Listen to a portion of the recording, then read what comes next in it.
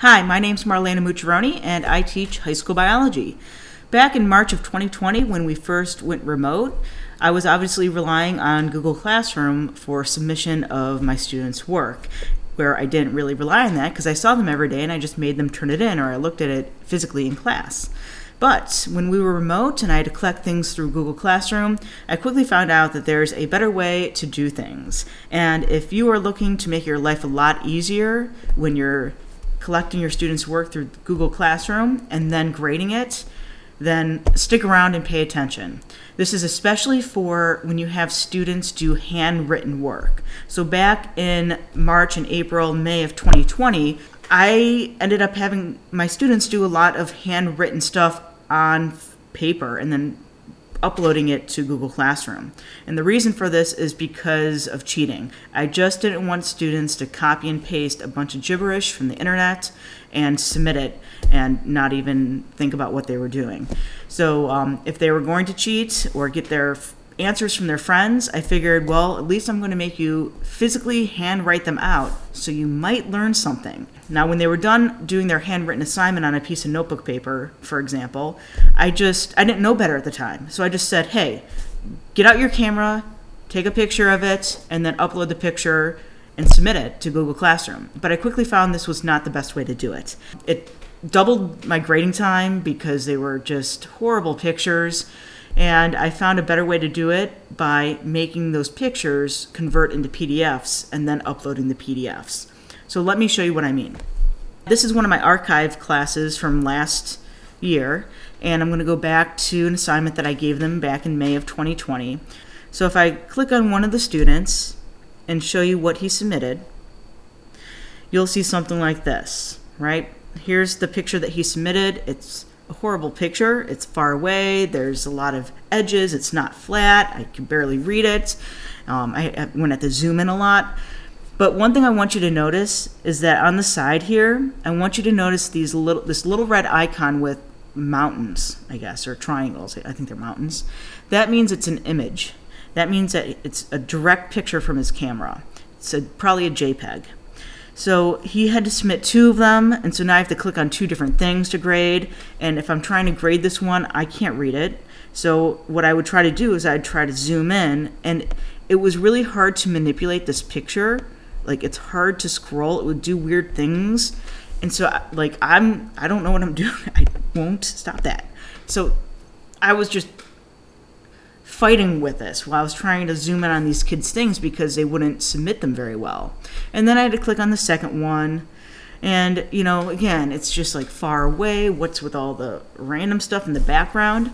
Here's, here's another one that another student submitted. So this student submitted, like, it was a three page assignment, it was three pages. And she submitted five pictures images and they're sideways and it's like a half a page it's like the middle of a half a page. They're out of order. It's it's just come on. Just disastrous to grade these and to try to zoom in on them it's just not good. So once students once i told the students hey this is how i want you to submit them so they're a pdf and then you all only have to do upload one pdf document with all the pages in it students who actually listened to me, they would look something like this. So would you rather grade one of those two students or the students? Where there's one, look at the side here, there's one red icon that says PDF, and it's only one document. And all the pages are right here, in order, flat, readable.